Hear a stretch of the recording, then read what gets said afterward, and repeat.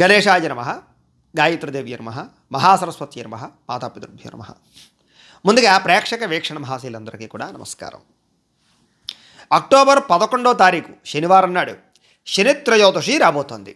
అందులోనూ నరక చతుర్దశితో కూడుకున్నటువంటి శనిత్రయోదశి చాలా మహాపర్వదినం.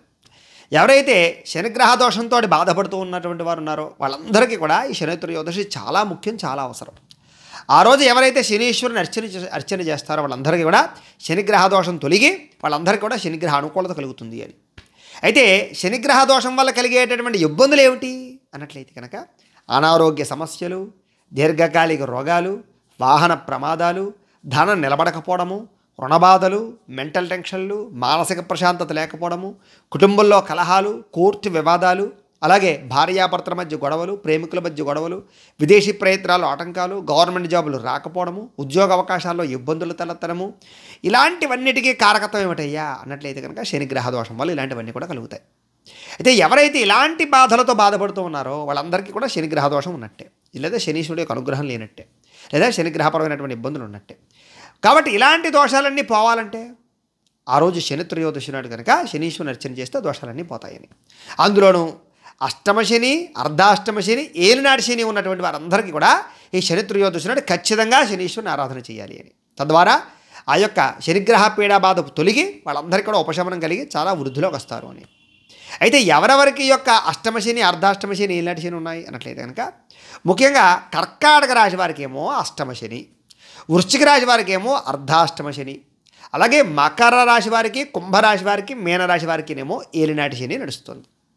కాబట్టి వీళ్ళందరికీ కూడా ఈ శని రోజు ఖచ్చితంగా శ్రీశ్వరుని రచన చేయడం చాలా అవసరం. తద్వారా ఏమిటంటే కనుక సంపూర్ణంగా శనిగ్రహ దోషం తొలగి వాళ్ళందరికీ కూడా శనిగ్రహ అనుకూలత కలుగుతుంది. శనిగ్రహ అనుకూలత కలిగితే ఏమవుతుంది? మళ్ళీ దీనికి రివర్స్ ఐశ్వర్యం కలగడం ధనానికి లోటు లేకుండా ఉండడం రుణబాధలు తగ్గడం ఆరోగ్యంలో వృద్ధి అవ్వడం అనుకున్న పనులని సకాల్లో జరగడం అలాగే జీవిత స్థిరత్వం రావడం ఉద్యోగ అవకాశాలు రావడం విదేశీ ప్రయత్నాలు అనుకూలతలు రావడం వివాహాది శుభకార్యాలు జరగడం ఇష్టమైన వాళ్ళతో కలవడం ఇవన్నీ కూడా మళ్ళీ శనీశ్వరుడు అనుగ్రహం కలుగుతాయని. ఏమిచ్చినా కూడా శనీశ్వరుడు స్థిరంగా ఇస్తాడు శాశ్వతంగా ఇస్తాడు. కాబట్టి శనిగ్రహం అనుకూలించిందనుకోండి అన్ని రకాల శుభకార్యాలు జరుగుతాయి. శనీశ్వరుడు అనుగ్రహం లేదనుకోండి ఏది కూడా ఎదరికి వెళ్ళదు. కాబట్టి ఎవరికైతే ఇబ్బందులు పడుతున్నారో వాళ్ళందరికీ అందులోనూ ముఖ్యంగా కర్కాటక వృశ్చిక మకర కుంభ మీనరాశి వారందరికీ కూడా శని త్రయోదశి ఖచ్చితంగా శనీశ్వరుని ఆరాధన చేయడం చాలా అవసరం. అందులోనూ వెదురుపాక శ్రీ గాయత్రి పీఠంలో ఉన్న మా పీఠంలో ఆ రోజు ప్రత్యేకంగా ఈ యొక్క శనీశ్వరికి సంబంధించినటువంటి సంపూర్ణ శనిగ్రహ దోష నివారణ హోమ ప్రక్రియ కార్యక్రమాన్ని నిర్వర్తించడం జరుగుతోంది. కుదిరితే కనుక ఈ యొక్క కర్కాటక రాశి వారు అలాగే వృశ్చిక రాశివారు మకర కుంభమైన రాశుల వారు కూడా ఈ యొక్క కార్యక్రమంలో పాల్గొనడానికి ప్రయత్నం చేయండి. ఎలా పాల్గొనాలి అన్నట్లయితే కనుక మీ గోత్రాలు పేర్లు మీ ఇంటి అడ్రస్సు పిన్ కోడ్ నెంబర్తో సహా మా వాట్సాప్ నెంబర్కి మెసేజ్ పెట్టినా లేదా మాకు ఫోన్ చేసి తెలియజేసినా కూడా మీ గోత్రాలు పేర్లు రాసుకుని ఆ రోజు చేసేటటువంటి సంపూర్ణ శనిగ్రహ దోష నివారణ హోమ కార్యక్రమాన్ని మీ గోత్రనామాలతో జరిపించి దానికి సంబంధించినటువంటి ప్రసాదాన్ని మీకు కొరియర్ ద్వారా కానీ లేదా పోస్ట్ ద్వారా కానీ పంపించే ప్రయత్నాన్ని చేస్తాం. తద్వారా మీకు సంపూర్ణ శనిగ్రహ దోషం తొలుగుతుంది. అందులో అనుమానం లేదు. ఆ రోజు ఏమిటంటే అంటే కనుక ఉదయం నుంచి కూడా బ్రాహ్మణుల చేత వేద పండితుల చేత శనీశ్వరికి సంబంధించినటువంటి మూలమంత్రాన్ని కొన్ని లక్షలు జపం చేయించడము అలాగే శనీశ్వరికి సంబంధించిన మండప ఆరాధన చేయడము తిలా మండప ఆరాధన చేయడము అలాగే శనీశ్వరికి తైలాభిషేకం చేయించడము అలాగే ఆ రోజు ముఖ్యంగా తిల తర్పణాలు చేయించడము అలాగే తిలలతో ప్రత్యేకంగా హోమం చేయించడం ఇవన్నీ కూడా నిర్వర్తించడం జరుగుతుంది. కాబట్టి ఈ కార్యక్రమాలన్నీ కూడా ఆ రోజు నిర్వర్తింపజేసి దానికి సంబంధించిన ప్రసాదాన్ని మీకు కొరియర్ చేయిస్తాం. అయితే దీనికి రుసుమే ఎంతయ్యా అన్నట్లయితే కనుక రెండు వేల రూపాయలు. కాబట్టి ప్రతి ఒక్కరూ కూడా ఈ యొక్క కార్యక్రమంలో పాల్గొనడానికి ప్రయత్నం చేయండి. తద్వారా మీకు సంపూర్ణ శనిగ్రహ దోషం తొలుగుతుంది.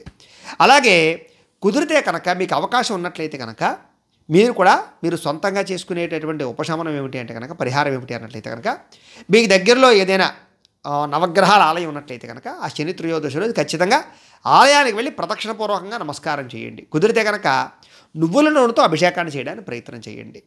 లేదా ఆ రోజు ముఖ్యంగా ఇవ్వాల్సినటువంటి దానం ఏమిటి కనుక తెల్లదానం.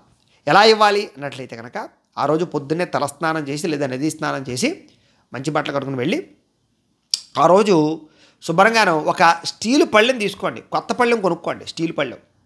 పళ్ళెం కొనుక్కుని స్టీల్ పళ్ళెంలో కాస్త బియ్యం వేయండి దాని నిండా. బియ్యం వేసి దాని మీద ఒక తమలపాకు వేయండి. తమలపాకు వేసి తమలపాకు మీద చాలా తక్కువ యాభై గ్రాముల లోపే నువ్వులు. ఎందుకంటే అంతకన్నా ఎక్కువ నువ్వులు ఇవ్వకూడదు దానం. చాలా తక్కువ ఇవ్వాలి. అంతకన్నా ఎక్కువ ఇస్తే దానికి తగ్గ డబ్బు బంగారాన్ని కూడా ఇవ్వాలి. కాబట్టి దక్షిణగా అంత డబ్బు మనం ఇవ్వలేం కాబట్టి యాభై గ్రాములు నువ్వు లోపిస్తే చాలు ఇరవై గ్రాములు పది గ్రాములు ఇచ్చినా చాలు. కొంచెం నువ్వులు ఆ తమలపాకు మీద వేసి ఒక బెల్లమ్మకు కూడా పెట్టి ఒక వాసం మేకు లాంటిది ఒక మేకు పెట్టి దక్షిణ తాంబూలాలు దాని మీద పెట్టి అలాగే నల్ల జాకెట ముక్క కానీ నల్ల తువ్వాలు కానీ నల్ల లింగి పంచి కానీ ఆ బ్రాహ్మడు కట్టుకుని వాడుకోవాలన్నమాట. అలాంటి వస్త్రం ఏదైనా కూడా దాని మీద పెట్టి మొత్తం ఆ పళ్ళెంతో సహా తెలబ్రాహ్మడికి దానం ఇచ్చేయండి. ఈ తెలబ్రాహ్మలు సాధారణంగా ఆ రోజు ఎక్కువ గుళ్ళలో దొరుకుతారు. నదీ తీరంలో దొరుకుతుంటారు. లేదా తెలబ్రాహ్మడు ఎక్కడ దొరుకుతారో తెలుసుకుని ఆ రోజు చక్కగా వెళ్ళి శరత్రయోదశ రోజు పొద్దున్నే ఆ తెలదానాన్ని చేయడానికి ప్రయత్నం చేయండి. తద్వారా మీకు ఈ యొక్క అర్ధాష్టమ శని ఏలినాటి శని అష్టమ శని దోషాలు సంపూర్తిగా తొలగే అవకాశాలు ఉంటాయి. కాబట్టి ప్రతి ఒక్కరూ కూడా శని త్రయోదశి రోజు కుదిరితే కనుక ఈ యొక్క నువ్వుల నూనెతో అభిషేకం చేయించుకోండి. అలాగే ముఖ్యంగా ఈ తెల్లదానం ఇవ్వండి. కుదిరితే కనుక రావులపాలెం దగ్గర మందపల్లిలో ఆ రోజు చాలా విశేషంగా మందేశ్వరుడికి విశేషంగా అర్చనలు జరుగుతూ ఉంటాయి. చాలా కొన్ని లక్షల మంది వస్తారు. కిక్కిరిసిపోయి ఉంటుంది. అది చాలా విశేషం. అక్కడ మందేశ్వరుడు అని శనీశ్వరుడు చాలా ప్రసిద్ధి. అలా నాసిక్ దగ్గర కూడా ఉంటుంది. అంత దూరం మనం వెళ్ళలేం కానీ మనకి లోకల్గా ఇక్కడ రావులపాలెం దగ్గర మందేశ్వరుడు ఉన్నాడు శనీశ్వరుడు. కాబట్టి చాలామంది ఆ రోజు అక్కడ తైలాభిషేకం చేస్తారు. కుదిరితే కనుక శని త్రయోదశి నాడు మందపల్లి వెళ్ళి తైలాభిషేకాన్ని చేసుకోవడం కూడా మంచిది. అక్కడ కూడా తెల్లదానం మంచిది. కాకపోతే ఆ రోజు చాలా రష్గా ఉంటుంది. దాన్ని దృష్టిలో పెట్టుకునే అవకాశం ఉన్న వాళ్ళు వెళ్ళడానికి ప్రయత్నం చేయండి. ఈ రకంగా ఎవరైతే శని త్రయోదశి నాడు వినియోగించుకుంటారో వాళ్ళందరికీ కూడా సంపూర్ణ శనిగ్రహం దోషం తొలగడమే కాకుండా శనిగ్రహ అనుకూలత కలిగి సకలేశ్వర్య భోగభాగ్యాలు కలిగి అనుకున్న కోరికలను సిద్ధించి సకల కార్యాలు సిద్ధిస్తాయి. జీవిత స్థిరత్వం వస్తుంది. ఏదైతే కోరిక కోరుకున్నారో కోరిక నెరవేరుతంలో సంశయం లేదు అని మన పెద్దలు తెలియజేశారు కాబట్టి ప్రతి ఒక్కరు కూడా ఈ రకంగా శని చేసేటటువంటి కార్యక్రమాన్ని నిర్వర్తించుకోవడానికి ప్రయత్నం చేయండి. ముఖ్యంగా మాపేటలో సశాస్త్రీయంగా ఈ కార్యక్రమాన్ని కూడా నిర్వర్తించడం జరుగుతుంది కాబట్టి కుదిరితే ఈ కార్యక్రమంలో గోత్రనామాలు ఇచ్చి దీంట్లో పాల్గొనడానికి కూడా ప్రయత్నం చేయండి. తద్వారా మీకు సంపూర్ణ శనిగ్రహ దోషం తొలుగుతుంది అని తెలియజేస్తూ దీనికి సంబంధించినటువంటి ఏవైనా అనుమానాలు ఉన్నట్లయితే కనుక మాకు ఫోన్ చేసినా లేదా కామెంట్ల రూపంలో అడిగినా కూడా మేము దానికి రిప్లై ఇచ్చే ప్రయత్నం చేస్తాము అని తెలియజేస్తూ ఈ వీడియో కనుక మీకు నచ్చినట్లయితే లైక్ చేయండి అందరికీ షేర్ చేయండి.